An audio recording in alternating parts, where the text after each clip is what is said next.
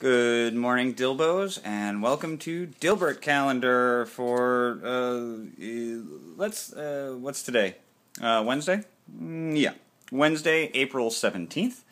Uh, in this one, um, oh, I think this is the the the um, hoping the terminus of this whole Asok got a dog nose arc. Um, he's sitting at a table with Dilbert and Wally, and he says, I must have fallen asleep during your presentation. I dreamed I had an animal snout for a nose. It seems so real. His nose is regular at this point. And Dilbert says, If you can't tell your dreams from your reality, maybe this is your dream and you really do have a snout. Does anything seem strange or out of place in this reality?